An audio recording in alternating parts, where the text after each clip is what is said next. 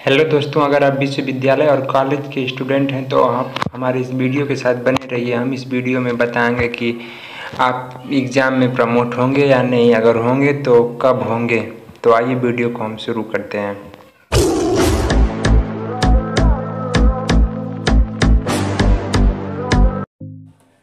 Hello दोस्तों, मैं स्वागत करता हूँ आपके अपने यूट्यूब चैनल टेक्निकल टेबल में।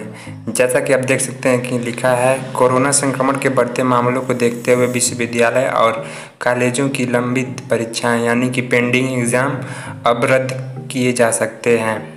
यहाँ यह भी लिखा है कि अगर प्रमोट होते हैं तो आंतरिक आकलन तथा पिछले सेमेस्टर के प्रदर्शन के आधार पर सभी को प्रमोट करने की तैयारी हो रही है।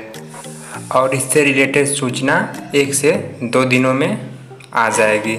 यहाँ पे देखिए, जैसा कि लिखा हुआ है, अगले एक से दो दिनों में जारी हो जाएगी संशोधित गाइडलाइन तो आइए आगे पढ़ते हैं, क्या लिखा है?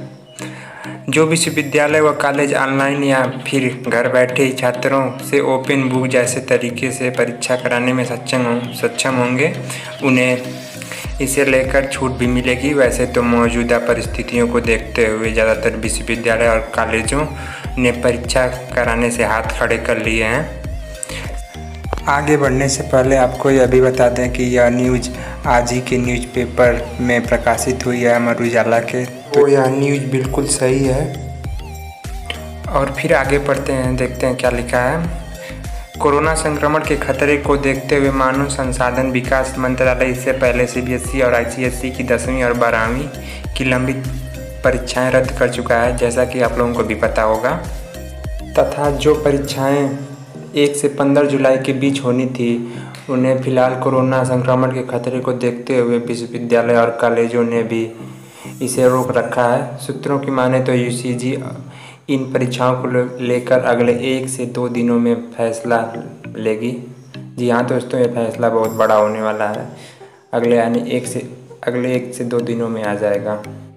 जैसा कि आप लोग जानते ही होंगे कि अनलॉक टू के गाइडलाइन में शैक्षिक शैक्षणिक संस्थानों को इकतीस जुलाई तक बंद रखने का आदेश दिया गया है। हालाँकि सूत्रों की माने तो प्रमोशन के चांस तो बहुत ज़्यादा लग रहे हैं, लेकिन अभी स्पष्ट रूप से कहा नहीं जा सकता है, इसलिए आप नियमित रूप से पढ़ते रहिए। तो वाइज कैसी लगी वीडियो? आप हमें कमेंट लाइक शेयर करके ज़रूर बताएँ। धन्यवाद।